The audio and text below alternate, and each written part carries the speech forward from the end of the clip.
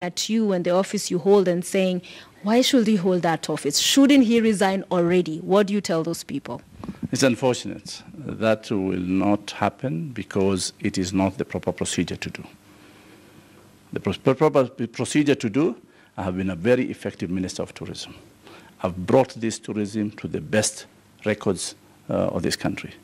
I have the passion and the commitment to continue and also to serve the wildlife sector. The blunder that was done in terms of translocation of wildlife, animals. It's more than a blunder, sir. It's, it's a major blunder. It's a major blunder. Yeah? Translocation of endangered species by people who actually took their jobs lightly.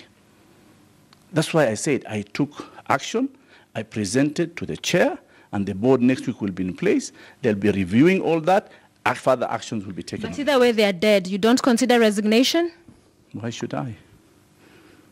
I haven't been involved, I haven't instructed, I haven't played a role, I haven't killed. The back stops with you. The back does not stop with me in terms of operations. The people whose operations responsibility was supposed to stop, they took the responsibility and we are dealing with them. Are you nervous with the looming reshuffle as we hear? Well, I thought already the reshuffle has happened. I don't think. Yeah, there may be another one, so. Well, you know, these jobs, we just hear them, and we, whenever we are given, we accept them. I didn't know I was going to be given wildlife.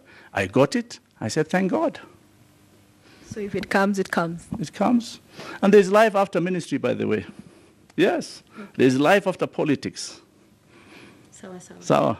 Thank you. Thank you very much, sir. Always a pleasure. Good. Thank you very much, Sophia, for